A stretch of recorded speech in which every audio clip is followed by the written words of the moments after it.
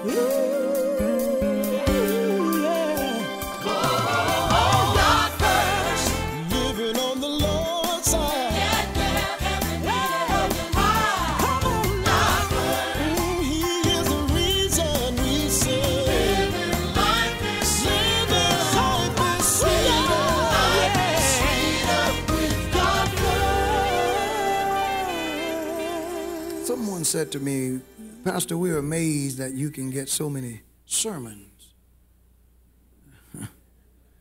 from Psalms 23. After all, there are only six verses in this psalm. What amazes me is that the shepherd king, the sweet psalmist of Israel, David himself, under the inspiration of the Holy Spirit, could actually pack so much in six verses. That a few sermons could come out the six only uh, requires prayer and diligence. But it is masterful to me how the shepherd king david recorded in vivid detail an entire year in the life of a sheep in just six verses. What a song. If brevity indeed is the soul of wit, if that's true, then David was one of the wisest men to ever live because he said a lot in just six verses. We've been talking about the rod said, Thy rod and thy staff, they comfort me. We haven't got to the staff yet, and I want to talk to you just a little more about the rod, and then hopefully we'll move to the staff and or do whatever the Lord says. But we've been talking about this club. The rod is about approximately two feet long, carefully made by its possessor. A sapling is cut at the bottom where the sapling and the root comes together. That forms the basis of the club, the rod. And it is carefully shaped and whittled away and shaven, and it's designed to fit the shepherd's hand. So each rod would be a little different. My rod would fit my hand. Your rod would fit yours. And the rod is both, and we've talked about this, an offensive and a defensive weapon. It is used to ward off coyotes, wolves, cougars, stray dogs. David even fought the lion and the bear with his bare hand, more than likely his bare hand actually with his rod. Remember when the Lord told uh, Moses to lift up his hands, Moses lift up his rod. It was they, they were interchangeable because the rod became a intricate part of the shepherd's hand. He became so good at it. I read a story one time where a, a shepherd was uh, clearing brush and they were trying to move a boulder and the boulder was quite heavy. And so they finally removed the boulder, and as they mo- removed the boulder, there was a coiled cobra ready to strike. The shepherd, with amazing speed and accuracy, without hesitation, took his rod and bam, hit the snake and killed it. What was interesting is, uh, to the, on, the observer, was that the shepherd did not have to go and get his rod. He didn't have to go and find the rod. Even when they were, were removing the boulder, he had his rod in his hand. The rod is always present. So the rod is like the extension of the shepherd's arm. Are you with me? The shepherd used the rod both to protect himself and the flock. It was often used to beat the bushes, to beat the brush. He would walk through and beat the brush uh, so as to disturb and discourage snakes and any of the creatures that would be hiding in the brush.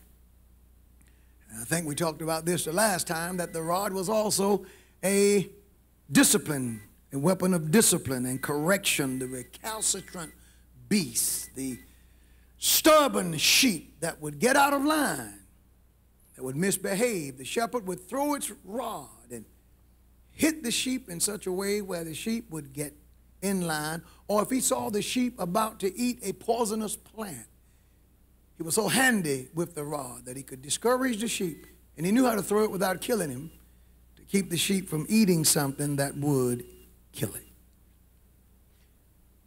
How does it apply to us? Application from spiritually speaking, the rod is God's spoken word. It carries the convicting power and the irrefutable impact of, Thus saith the Lord. When we speak what God says, that's power. That's influence. I was telling you something I didn't finish. I said that uh, the uh, jihadists used a truck. I said last week that Paul didn't deal with the inanimate things, but the conditions of men's heart. See, if, if you take the gun away, then what are we going to do now? take away the trucks. There's been at least four instances where they've used trucks to kill people. And part of their playbook is if you don't you have a gun, use a knife. Don't have a knife, use a truck. Don't have a truck, use a car, whatever. It's not the instrument, it's the heart. Jesus said men would kill you and think that they do God's service. So we can't take, can't fight this battle by taking away instruments. We've got to preach Jesus. And we've got to stand on the rod of God, His Word. Amen. The scriptures are His rod. Scriptures spoken in context are the rod of God. Let me give you an example. Let me show you a, a good usage of the rod. Matthew's Gospel, chapter 4. I won't spend much time on this. You can read it when you get home. Matthew 4, the Bible says, Then Jesus led up into the, uh, uh, of the Spirit, verse 1, into the wilderness to be tempted of the devil. Satan tempted him with three major temptations after our Lord had fasted 40 days and 40 nights. The Bible says in verse 2 and when he had fasted 40 days and 40 nights, he was afterwards hungry. So he's physically weak, he's extremely hungry, and before he can eat, here comes the devil. Here comes Lucifer himself. Not a demon, not Beelzebub, not any of his lieutenants, but Lucifer himself tempts our Lord. Lord hadn't eaten in 40 days, and the Bible says 40 nights. Verse 3 says, And when the tempter came unto him, then he began to tempt him. But notice in verse 4, our Lord's response to the tempter's temptation. First clause, and he answers, speaking of our Lord, and says, It is written. He employs the rod of God. He quotes written scripture. In verse 7, Jesus said unto him, This is after the second temptation, It is written again. Notice, he employs the rod. The rod is God's word spoken. Uh, and in verse 10, then said Jesus unto him, Get thee hence. That is, get behind me. Why? What gives me the authority to put the devil behind me? For it is written. Isn't that amazing? We cannot defeat Satan with maxims. We cannot defeat Satan with folklore. We cannot defeat the devil with our own thoughts, our own mind, and our own way. We can only wage successful war against Satan with the word of the Lord. Demons tremble when we use the word. Disease has to dry up.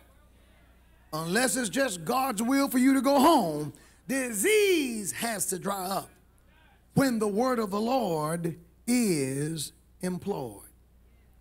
God said this about his word. In Isaiah 55 and 11, he says, So shall my word be that go forth out of my mouth. It shall not return unto me void, but it shall accomplish that which I please, and it shall prosper in the thing whereunto I sent it. When we use the word of God, the word of God simply, my friends, cannot fail. Word of God is the Lord's rod. Amen. And if you want to win, say what God says. If you want to pray a powerful prayer that moves the Lord, pray His word. Amen. If you want to know where, where to stand on social issues, resort to the word. What does the Bible say? The Bible says this. What say you? The Bible is right. And every believer should trust as never before the word of the Lord. Can I get a strong amen on that? Second Timothy tells us something, and uh, we got to do it if we're going to defeat the enemy. Second Timothy 2 and 15 says this to the believer study. Study. Do you hear me, upper room? I know you're busy. I know we have busy lives. We have jobs. We have kids. Oh, my, we have sports. We have entertainment. We're busy people. We've got to be here. We've got to be there. We have so much to do. And yet, the Bible says, regardless of how busy you are, study. To what degree? Study to show thyself approved unto God. A workman that needeth not to be ashamed, listen to this, rightly dividing the word of truth. That is, accurately handling the word of truth. But notice this, but shun profane and vain babblings, for they will increase unto more ungodliness.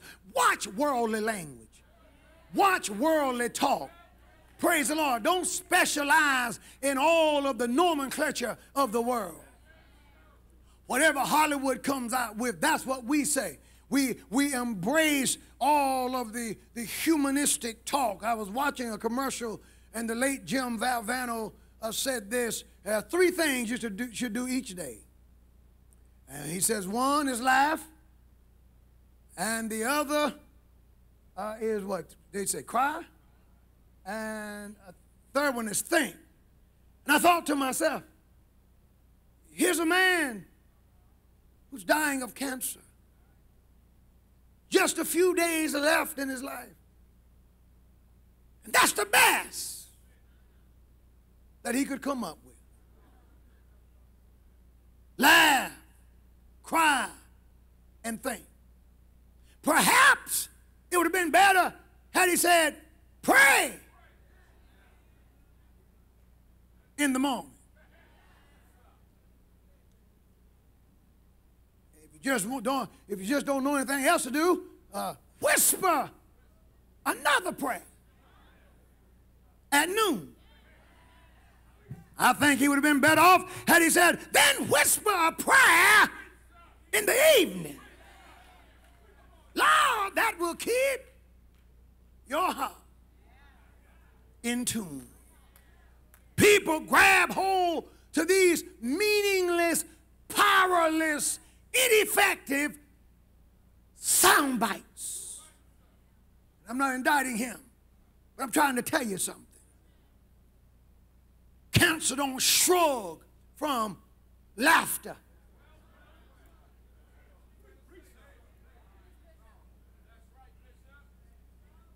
You're facing some of these conditions that life can present. Praise the Lord. Some secular saying won't get you through. You need to know how to grab hold to the Word of God at the drop of a hat and say, Loose here, Satan. The Bible says, this.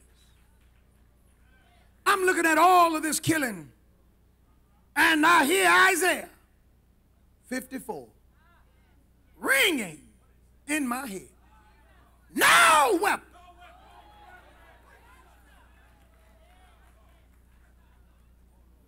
That is formed against thee shall prosper. Praise the Lord. Somebody talk to me about my enemy, but every tongue that shall rise up against thee in judgment, Isaiah says, thou shall condemn. This is the heritage of the servants of the Lord, for their righteousness is of me. It's something to be said about standing on the Word of God and knowing how to, at the drop of a hat, say what God says. You don't want to be in a bad place and say, Well, let me try to find the pastor. Let me get the first lady on the phone. Let me see if I can't find the district district missionary, excuse me. Maybe someone can give me a scripture. No, no, no, no, no, no, no. You got to know something. You got to have something on the inside. You got to know how to rightfully, uh, rightly divide. Uh, can, can I get a witness here? The word of truth.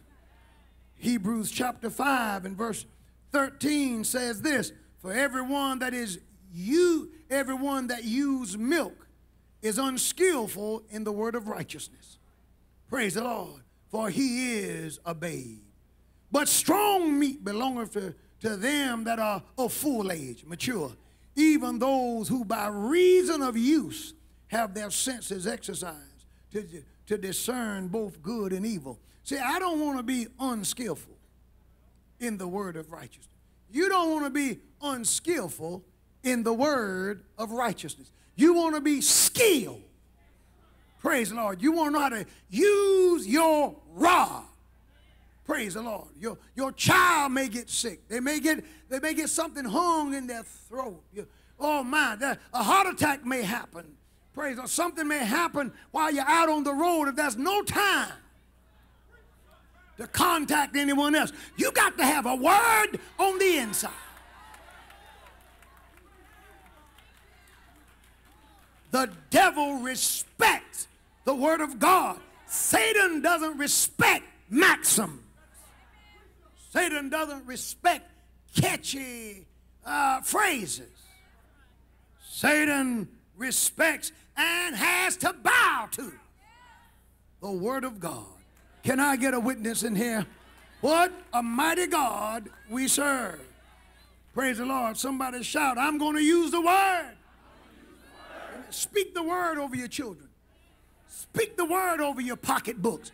Speak the Word over your body. My God, speak the Word.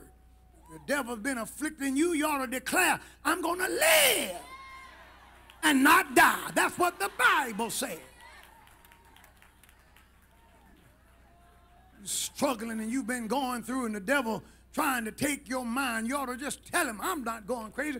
Weeping may endure for a night, but joy cometh in the morning. And I just believe that if I just hold on, morning time is going to come. But see, if you don't know it, if you hadn't read it, if you, if you hadn't studied uh, the word of the Lord, then you won't know how to cope when life gets hard, when there's so much upheaval and unrest. All this talk about transgender and stuff like that. God made them male. And God made them female. Period. And God have never given man permission to change that. And anybody who tries to change it, there is a futile effort. You're just a, uh, a mangled, botched job. Praise the Lord. You're still a man. I don't care what you cut off. You're still a woman. I don't care what they. Whatever. God made them male. God made them female. Uh, Mo'Nique. And she's out there, her and her husband. They have what is called, I hadn't found that in the Bible, an open marriage.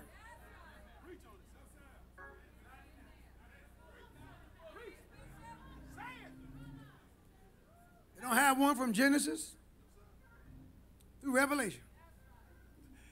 And uh, in their marriage, she said her husband gave her permission to sleep with other men. So then she's not cheating since he gave her permission.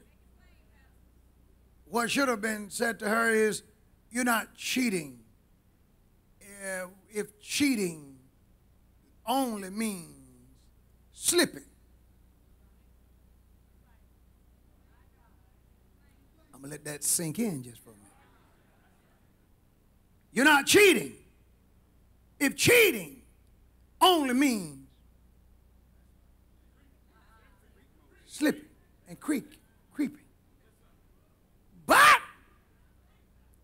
I never read in the Bible what God gave a wife permission. Well, that was one time and it didn't work. Sarah told Abraham, go into Hagar. He did what she said. She got pregnant and had a child. God came back and said, uh, 17 years later. First of all, the Lord didn't say anything else to him. 17 years. Number one, walk before me and be perfect. Then the Lord showed up and said, Guess what? A little while later, said, uh, The bondwoman and her child, both of them got to go.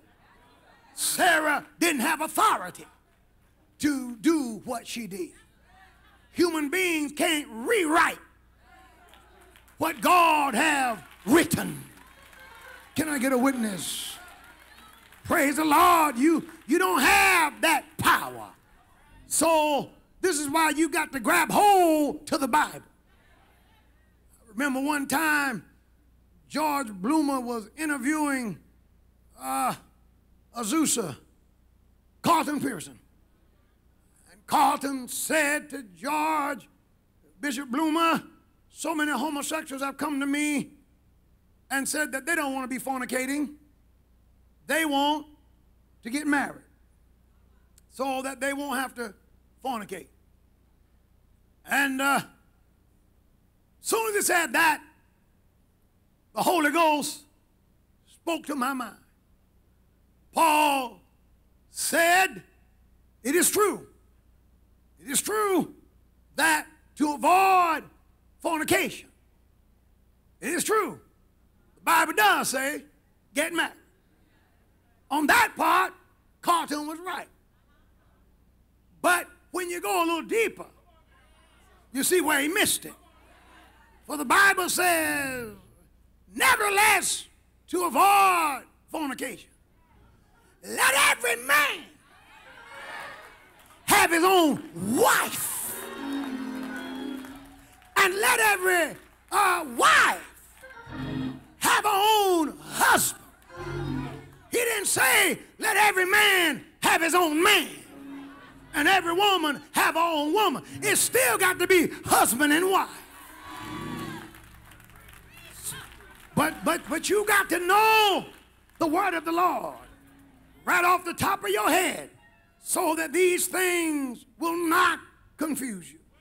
Can I get a witness? Somebody shout, the Bible is right. Okay, Rocky, we I've been up long enough. Let's let's get ready here because I don't know upper room don't don't holler say amen like they used to.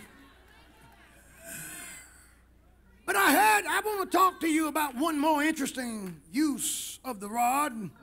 And then after I deal with this, maybe a Tuesday night, I can talk to you about the staff. But another interesting use of the rod was that the rod was used to examine uh, and count the sheep. Thank you, Jesus. It was called passing under the rod. Ezekiel chapter 20. Are you praying with me? 20 and uh, 37 says, And I will cause you to pass under the rod, and I will bring you into the bound of the covenant. What does pass under the rod mean? How does this process work? Here's how the process works. View in your mind a flock of sheep. And the sheep are in the fold. The shepherd would go to the door of the sheepfold and open the door, and he would take each sheep out individually, one by one. As one stepped out, the shepherd would hold out the rod, and that sheep had to walk underneath the rod and be counted. But not only would he be counted, but he would be examined. Are you with me? You see, he brought them out so that he could examine them and check this out. He would examine them firsthand. It would be a firsthand, intimate examination. And the shepherd, and remember, David said, The Lord is my shepherd. The shepherd would do the examination. In examining the sheep, the shepherd would check the sheep for disease, wounds, defects, would check to make sure there are no blood sucking ticks on the sheep or any kind of parasites that could lodge on the sheep. And uh, now remember, the sheep carried wool, and the wool would get very thick. So the shepherd would take its rod and divide the wool. See, because sheep were thin, thin skinned creatures. And would divide the wool so that he could closely examine Experience this message in its entirety by calling toll free 877 463 3477 to purchase your copy in CD or DVD format. God First will return next week at the same time. Until then, make every day a God First day.